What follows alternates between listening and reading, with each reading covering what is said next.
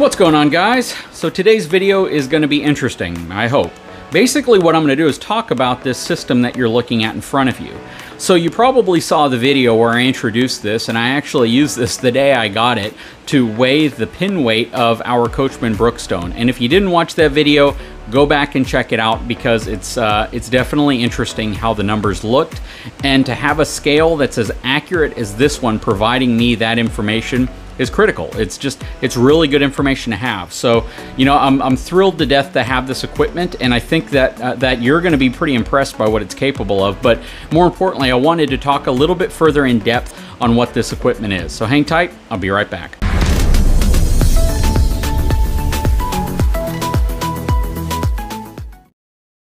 All right, so what you're looking at is a setup from a company called SellEton. SellEton produces scales all sorts of different types of scales, from the type that you drive vehicles onto um, at a commercial, you know, factory, from the type that you might have outside of a truck stop. So what they do is very important and very critical for many industries who have to get it right, especially whenever you are talking about equipment that needs to be weighed before it can go on trucks, because I think everyone realizes now that the cost of freight has gone up tremendously, and getting your weight right is pretty dang important. Anyways, what you were looking at in front of you is really a combination of things. First, over here on the left, this is the display uh, or an indicator. And this specific one is called the SL7510 SSC12, which essentially is a full stainless steel washdown capable indicator. It's rated for IP68. So basically this thing's designed so you can spray it down if you get anything on it. And they make different flavors of pretty much all this stuff, designed for, you know, use in intrinsically safe environments, which is essentially equipment that won't create a spark, which could cause an explosion, stuff like that. The scale itself is the SL800. It's a 3 foot by 3 foot scale. It's NTEP certified, which essentially is a certification program needed for transportation industry if you're going to be hauling stuff around. Uh, this is a floor scale, and they offer this in five different capacities. The specific one in front of us is the 10,000 pound rated scale, and it has a 2 pound accuracy based on it. Now, they have a 20,000 pound version of this with 5 pound accuracy. They have a 5,000 pound, a 2,500 pound, and a 1,000 pound, all with very, very high accuracy. I think the 5,000 pound is a pound, the 2,500 pound capacity scale is half a pound accuracy, and the 1,000 pound scale is 0.2 pound accuracy which honestly makes these probably more accurate than your house floor scale that you use to weigh yourself. So pretty, pretty cool. They even offer this stuff in stainless steel, which is pretty amazing. But when I filmed the video, the original video that I, I showcased this whenever I got it, something I did that I kind of regret, but now I don't regret because it gives me an opportunity to talk about this, was to have this panel open, which there's two screws that hold this panel down. And typically, if you purchase this with the standard display, they package everything under this panel. This is kind of like a storage compartment. But I had this open and there were a lot of wires that were visible. Since then, they've all been cleaned up. Now, a lot of people are wondering why were there so many wires available in here? And the reason why is because in many installation environments, they don't put anything in here. This is simply the storage for the equipment when it's shipped, but then this, this box right here, this junction box, is mounted externally. So they give you enough slack and wire to be able to do what you need to do with this equipment. Now, a lot of people will just keep it housed inside of here like I did, and I've cleaned up all the wiring and made it look really nice and neat. But it's basically set up so you can move it externally if you want to. You can move it to a separate box, or you can just bundle it up and put it inside of here like I've done. What you're looking at next to it is an optional accessory. This right here is a wireless transmitter that connects to this wireless receiver that then connects to the SellEton display right here. Now, how does this work? This has a rechargeable battery inside of it. This does not, but it receives power from the rechargeable battery that's inside of this. So this is completely wireless. When you get the system, initially it's actually going to come with a wire that connects from this module or junction box to this controller directly and you don't have to have a wireless connection. But for how I plan on using this, we determined that wireless would work best simply because if we're going to be putting something heavy on it here, I might be sitting you know, a ways away from it. Or we may be measuring maybe pin weight in the back of the truck, or I might be putting something on top of it and I'll be in the cab of a vehicle and I don't want to have to run a cord. So having a display with up to like a 300 foot range is pretty important, and this is what this permits. So in an industrial environment, the only thing you'd want to keep in mind is that if you don't have this constantly plugged into power, you're going to have to recharge this and you'll have to recharge this. As far as the receiver goes, it receives its power again from this SellEton display, which has the battery built into it. So very, very cool how this works. It's all protected. The only piece that I don't want to expose to water if I can avoid it, I believe is going to be this piece right here. This is full washdown capable, and like I said, I mean, I don't believe that water will hurt this that much if it's lightly sprayed on it, or especially if it's covered up through here and it's not really getting contact to water, but I want to try to make this stuff last as long as possible. Now, in terms of what you could use this for, there are so many things you can use this for. In, you know, in the last video, I showcased lowering the fifth wheel pin box onto this, and the weight, which again, check out that last video if you want to see how much it was, which was well over a ton, was pretty much placed right in the center right here. And it didn't cause any type of deflection, bending, warping, anything of this frame because this frame is one really heavy duty steel chassis.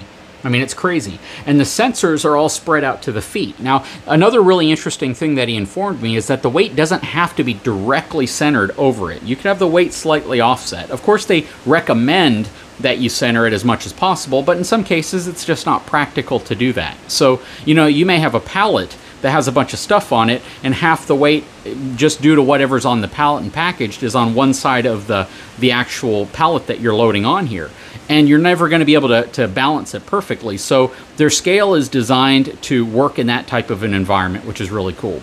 Now, what I want to do is I actually want to demonstrate how effective this is at weighing stuff. So I've accumulated some of my, or at least I've gathered some of my tow hitches and some other things laying over there. And we're going to go ahead and weigh some of those things so you can get kind of an idea of how much some of this equipment weighs that you put on the back receiver of your vehicle. So the way I'm going to do this is start this up. First, I'm going to press this button to turn on the transmitter. Transmitter is powered on. Next, I'm going to come over here and I'm going to turn this on by holding this button down. So the scale is on. I'm going to make sure I put this cover right here. I keep the screws off. There's no really, you know, great reason for me to have to put them back on, honestly. I'll set them in there. I'm going to go ahead and zero out the scale. Now, what I'm going to do is start grabbing some things and I'm going to put it on there. But before I do that, actually, let's make sure we're not going to start scratching up the top of this thing. So I'm going to put this mat right here.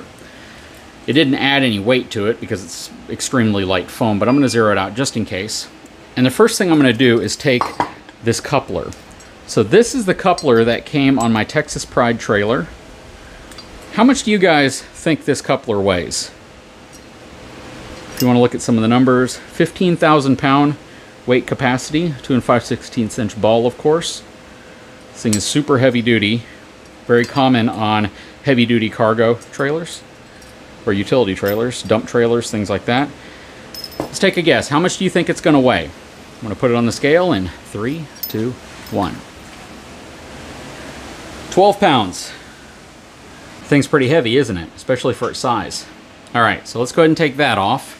Okay, so next in my pile of stuff over here, I have a WeighSafe aluminum hitch. I'm gonna weigh that last.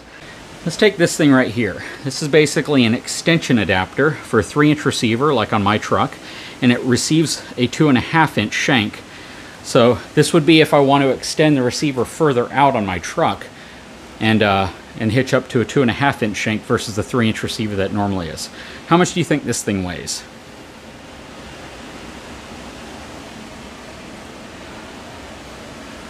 10 pounds. So is that lighter or heavier than you thought? Next, let's do this little C channel. So this actually came with the coupler that I replaced on the new utility trailer. Looks like it's half inch thick steel channel. How much do you think this thing weighs? 12 pounds. So the combination of this and this is 24 pounds. Let's see if that adds up.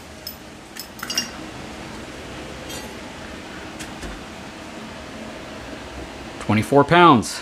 So yeah, just putting this on your trailer, you've added 24 pounds of weight to it. So this is a WeighSafe steel shank. Now a lot of people know WeighSafe because of their aluminum hitches, but they also have a steel version of their equipment, and this thing is super heavy duty.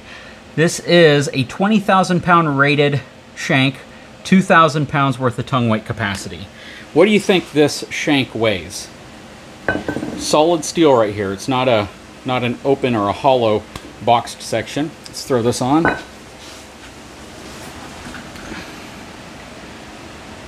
Twenty-eight pounds. Just that shank alone weighs 28 pounds. And if you want to know what that goes to, that goes to the weight distribution system that they offer. So when we talk about how heavy weight distribution systems are, the shank alone is 28 pounds. That's pretty crazy, isn't it? All right, let's pull that off. And it is going back down to zero every single time I do this. So let's do this little guy. So this is a 5,000 pound rated hitch. This is a two inch hitch ball. Relatively thin. What do you think this bad boy weighs?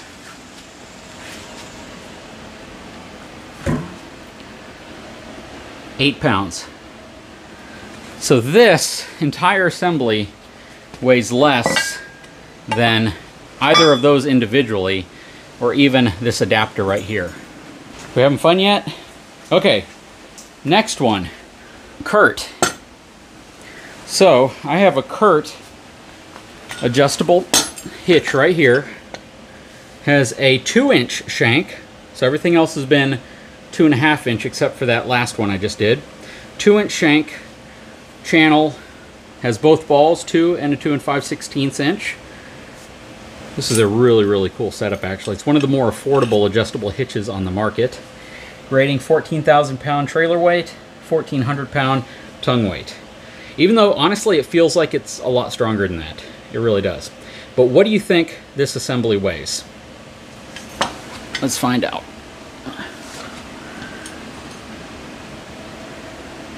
Twenty-eight, almost 30 pounds. Say 29 maybe, split the difference. 29 pounds. So this assembly right here weighs as much as this shank alone does. Just to kind of give you an idea of the difference in construction materials and how it can really affect weight. That shank alone weighs almost as much as this, maybe a pound difference. Next, I have a B&W Tow and Stow tri-ball hitch, two inch shank. What do you think this bad boy weighs? So a two inch shank is going to be the smallest shank size offered for the B&W Tow and Stow right? So they have a two, two and a half, and even a three. So Ford Super Duty and maybe some other trucks can take a three. Most often you're going to see two and a half inch shanks on this, but this is a two inch shank. What do you think it weighs?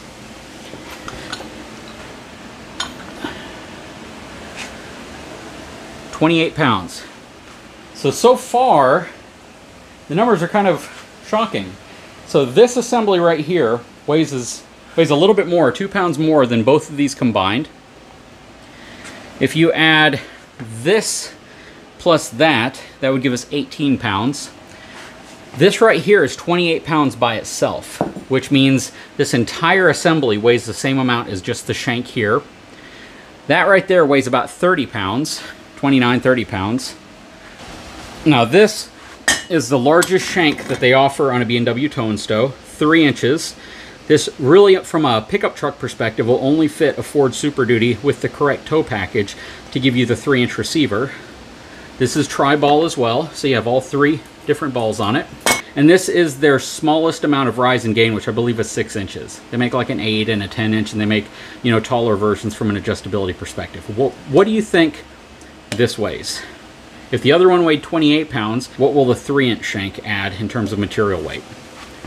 Let's find out.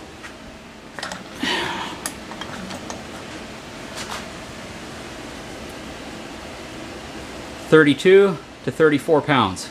So let's just split the difference, 33 pounds. So the tow and stow with the 3 inch shank weighs actually quite a bit more overall than the 2 inch shank. Is that surprising to anyone? This area right here is thicker than this area, and of course the shank is significantly larger. Now finally, we're going to take this beast. Okay, so next we have the WeighSafe aluminum hitch. Now this one actually is not the one that I thought. I have the three inch shank for it, but this is a two and a half inch shank. Um, the 3 inch shank probably does weigh a bit more. It's certainly more material. But this is the 3 inch, and if you don't know what the weigh safe hitch is, it is a hitch with a scale in it. So you have the capability of weighing the tongue weight of whatever you put on your vehicle, which is super cool. And this assembly right here is the same for either the 2.5 or the 3 inch shank. Um, I just moved it to my 2 inch shank. But yeah, this is the slightly smaller 2 inch shank. But what do you think this bad boy weighs? This is made out of aluminum, not steel. What do you think it is? 16 pounds.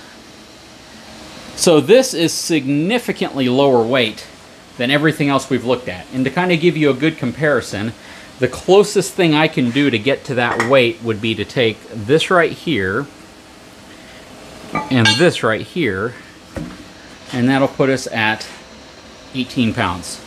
So even this assembly right here is two pounds heavier than this weigh-safe hitch. Pretty crazy. But yeah, the purpose of, of this scale is just the fact that now I have the means of actually showing you guys what things weigh. Because it's so important when it comes to towing. It's so important when it comes to loading up your RV. I know a big one people are going to want me to do, and I might do this in another video, is what does a full propane tank weigh? I have so many folks that are constantly asking me, why does a 30 pound propane tank not weigh 30 pounds? Why does a 20 pound or a 40 pound propane tank not weigh 20 or 40 pounds? And I often tell them, what I'm telling you is the material weight, not the weight of the tank itself. An empty propane tank probably weighs 15 pounds, 20 pounds, or possibly even more.